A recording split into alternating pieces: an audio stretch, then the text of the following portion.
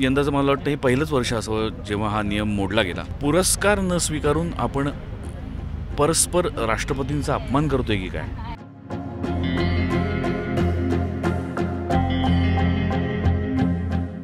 Sir आत्ताचा एक सध्या जो चर्चेतला मुद्दा आहे तो म्हणजे अर्थातच आपल्याला नॅशनल अवॉर्ड मिळाल्याचा आणि जे काय आता प्रकरण जे झालेलं आहे त्याच्यावरती तुम्ही रिॲक्टसुद्धा केलेलं आहे. काय एकूणच हे सगळं प्रकरण होतं आणि मग नंतर कुठेतरी बॅकफूटवर गेल्याचं सगळीकडून बोललं पण गेलं. आपली भूमिका काय? मला असं वाटतं की सगळ्यांनी जाणून घ्यायला हवं की नेमकं काय झालं. त्यानिमित्ताने तुम्ही हा प्रश्न विचारते चांगली गोष्ट आहे. चौसष्ट वर्षांची परंपरा आहे की राष्ट्रपतींच्या हस्तेच हा पुरस्कार प्रदान केला जातो. यंदाचं मला वाटतं हे पहिलंच वर्ष असावं जेव्हा हा नियम मोडला गेला किंवा ही प्रथा मोडली गेली म्हणूया नियम नाही. याबाबतीत तर कुठलंही इंटिमेशन जर आम्हाला आधी दिलं असतं तर आम्ही त्या मानसिक तयारीनीच गेलो असतो की आपल्याला राष्ट्रपती जास्त मिळणारच नाही पण दुर्दैवाने आम्हाला आदल्या दिवशी संध्याकाळी सहा वाजता ही गोष्ट सांगितली गेली. त्यामुळे सगळ्यांच्या मनात खूप राग होता प्रक्षोभ होता आणि तो दुसऱ्या दिवशी सकाळी उमटला. जेव्हा आम्ही सगळ्यांनी फंक्शन बॉयकॉट करायचा त्याच्यावर बहिष्कार टाकायचा निर्णय घेतला.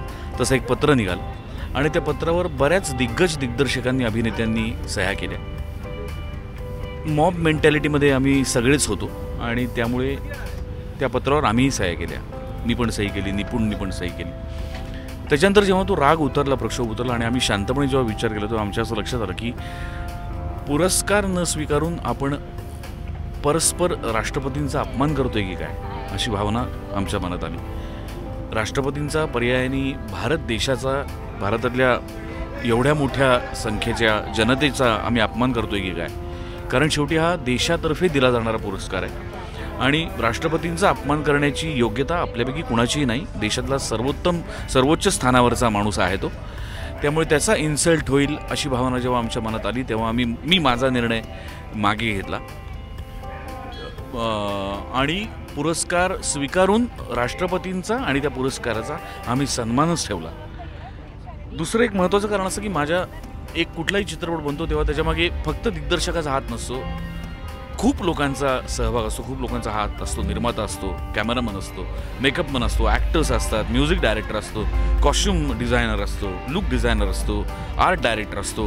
बॅकस्टेजचे सगळे आमचे टेक्निशियन असतात स्पॉट बॉईज असतात.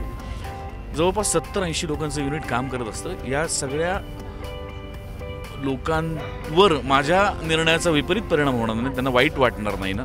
आणि त्यांना वाईट वाटण्याचा हक्क मला कोणीही दिलेला नाही.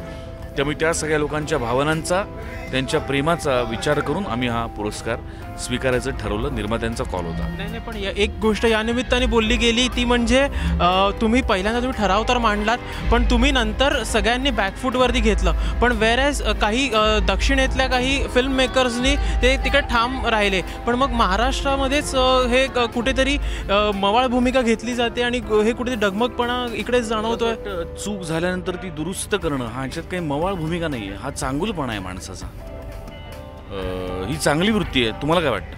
नाही ॲक्च्युली पण पण न्यूडच्या निमित्ताने पण आपल्याला पाहायला मिळालं किंवा इतर कुठले जर सिनेमे झाले असतील तिकडे एकी नव्हती. मग त्याच्यामुळे काय होतं की सिनेमाच्या भूमिकेवरती तर प्रश्नचिन्ह सर्वत्र ही सा सामान्यांची तर भावना आहे की एकी दिसत नाही आहे कुठेतरी. उलट एकी दिसली उलट तिथे आम्ही जेवढे सगळे मराठी मुलं होतो तेवढे सगळ्यांनी एकत्र येऊन हा डिसिजन घेतला. म्हणूनच निपुणनी पण पुरस्कार स्वीकारला नागराजनेही स्वीकारला. स्वप्नील कापुरेंनी पुरस्कार स्वीकारला.